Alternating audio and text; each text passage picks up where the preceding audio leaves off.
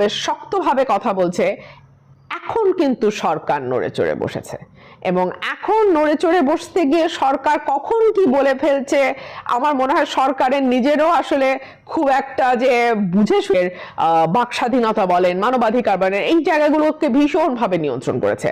তো এখন যেহেতু নির্বাচন একটি সামনে আসছে দ্বাদশ জাতীয় সংসদ নির্বাচন এবং সেই নির্বাচনকে ঘিরে সরকারের উপর এক ধরনের প্রেশার আছে। আমরা দেখতে পাচ্ছি পশ্চিমা দেশগুলো, বিশেষ করে যুক্তরাষ্ট্র, আবারও সেই যুক্তরাষ্ট্র, এক ধরনের বেশ শক্তভাবে কথা বলছে। এখন কিন্তু সরকার নড়ে চড়ে বসেছে। এবং এখন নড়ে চড়ে বসতে গিয়ে সরকার কখন কি বলে ফেলছে, আমার মনে হয় সরকারের নিজেরও আসলে খুব একটা যে বুঝে শুনে বলছে তা না। কিছুদিন আগে আমরা শুনলাম যে যারা নিষেধাজ্ঞা দিয়েছে, তাদের কাছ থেকে আমরা কিচ্ছু কিনবো না।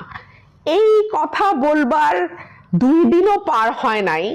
আমরা গণমাধ্যমে দেখলাম, যুক্তরাষ্ট্র থেকে তিরাশি টাকা কেজিতে চিনি কিনছে সরকার। সমকালে এসছে সতেরোই মে দু তেইশ। আপনারা দেখে নেবেন। সেখানে বলা হচ্ছে, রাষ্ট্রীয় বিপণন সংস্থা টিসিবির মাধ্যমে সাশ্রয়ী মূল্যে বিক্রির জন্য ছেষট্টি কোটি সাতাশ লাখ একত্রিশ হাজার দুশো পঞ্চাশ টাকার টাকায় সাড়ে বারো হাজার টন চিনি কেনার সিদ্ধান্ত নিয়েছে সরকার। এতে প্রতি কেজি চিনির দাম পড়বে বিরাশি টাকা পঁচাশি পয়সা।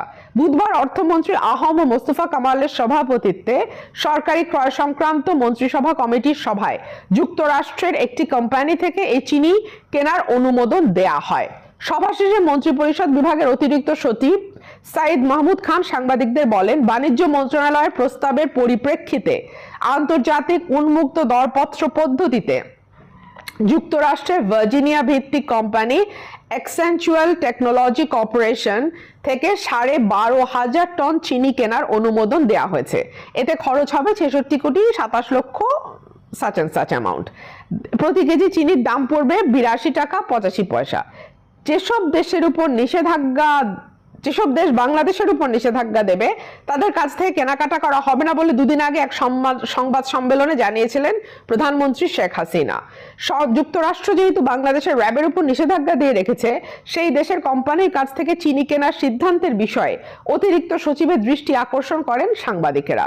জবাবে তিনি বলেন, বৈঠকে বিষয়টি নিয়ে পৃথকভাবে আলোচনা হয়নি।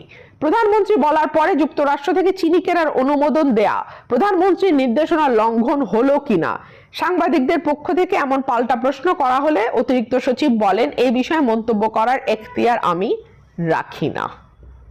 দেখুন, এই যে এই ধরনের কথাগুলো, যে আমরা কিনবো না, আমরা তাদের সাথে বাণিজ্য করব না, ইত্যাদি ইত্যাদি, যেই কথাগুলো আসলে আমরা রাখতে পারব না।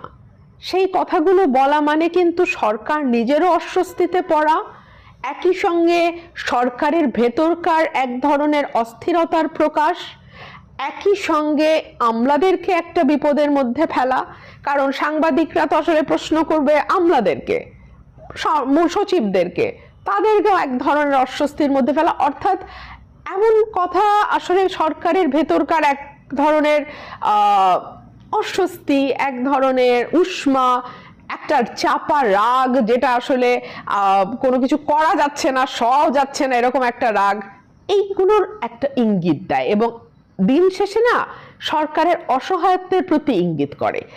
যাদেরকে চাঙ্গা করার জন্য এই ধরনের কথাগুলো বলা হয়, সেই তৃণমূলের নেতাকর্মীরা যখন আবার দেখে যে সেই কথা দুদিনের মধ্যেই মানা হচ্ছে না, অন্যরকম সিদ্ধান্ত নেওয়া হচ্ছে, তখন কিন্তু পরিস্থিতি বুঝতে তাদের কারোরই আর বাকি থাকে না।